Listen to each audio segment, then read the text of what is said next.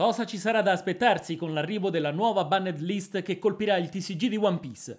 Quale leader verrà maggiormente colpito da questa ennesima manovra da parte della casa madre? E quali saranno le carte in questione che subiranno una limitazione? O peggio, verranno completamente escluse dalle dinamiche del gioco? Nel video di oggi troverete la risposta a queste domande.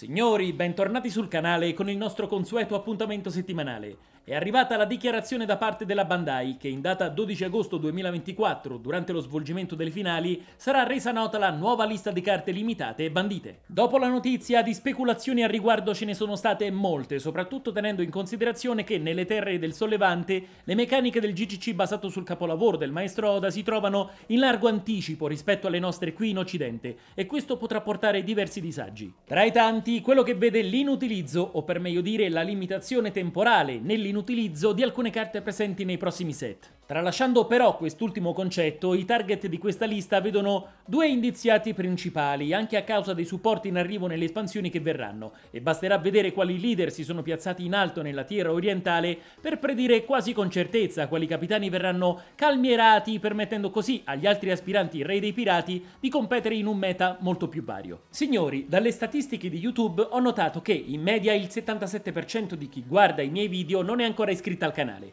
Pensate che se solo la metà decidesse di supportare il progetto si raggiungerebbero i 10.000 iscritti in pochissimo tempo. Perciò datemi una mano, se ancora non siete iscritti basta un clic. Per voi è un semplice gesto, ma per me è di grande aiuto. Grazie per il supporto. Torniamo al video. Ed ora scopriamo assieme quali potranno essere i bersagli della banned list annunciata dalla Bandai per il TCG di One Piece. Andiamo a dargli un'occhiata. Arriva la nuova band. Senza fare troppi giri di parole. Kid o Moria? Questi infatti sembrerebbero essere i due bersagli maggiormente colpiti dalla lista che arriverà questo agosto e visti i maggiori piazzamenti centrati nel paese del Sollevante e limitrofi, si potrebbe assolutamente credere che carte contenute nei deck rappresentati dai due leader in questione andranno ben presto ad incorrere in limitazioni o divieti vari. E quindi quali saranno le carte coinvolte? Qualcosa mi dice che in candidatura si potranno trovare Black Maria, la SR Viola di OP08, seguite da Reiju SR di OP06 e Sanji SR di OP07 per quanto riguarda il Viola, colore complementare assieme al rosso che vede Lo del decimo starter giocarli entrambi. Mentre l'altra tonalità coinvolta sarà, come già accennato, probabilmente il nero. È Arconte, ma Moria non è poi così forte in confronto ai leader che arriveranno.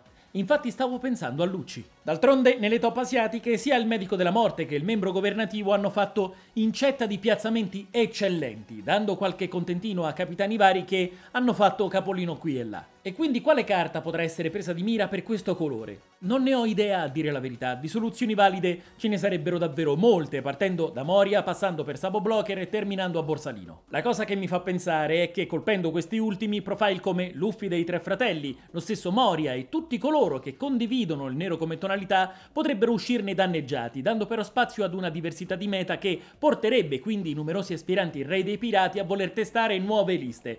Per quanto mi riguarda, tornerò a giocare barba e pace fatta. Ma ripeto, se per il deck di Low le voci sono più che focalizzate verso tre carte nello specifico, qui non ho la più pallida idea di cosa potranno andare a toccare senza arrecare danno ad altri. Per assurdo, anche Rebecca potrebbe effettivamente risultare pericolosa con gli sviluppi futuri. Altri addirittura hanno suggerito Brook costo 3 delle B01 e Jack SR o P08, ma non li trovo così dannosi per le dinamiche del gioco di per sé. Mentre Sabo Secret per quel che mi riguarda è abbastanza bilanciato a livello di costo forza effetto, d'altronde è una secret, ci sta che sia leggermente più potente rispetto ad altre carte del set di appartenenza.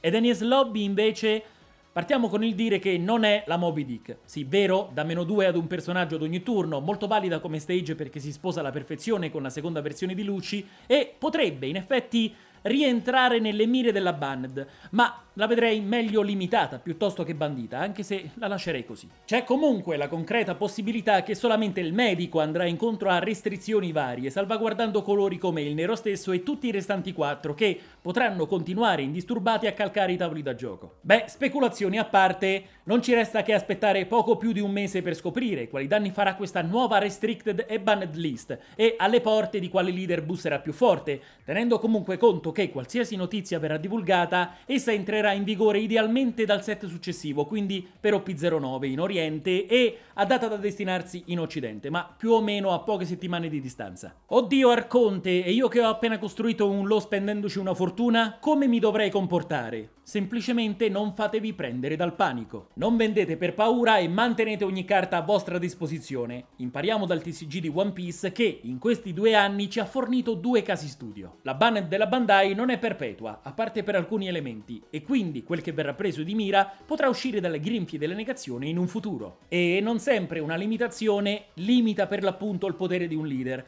Vi ricordo che per annientare Barba Bianca hanno dovuto far fuori direttamente la carta del leader, come è stato anche per Sagazuki.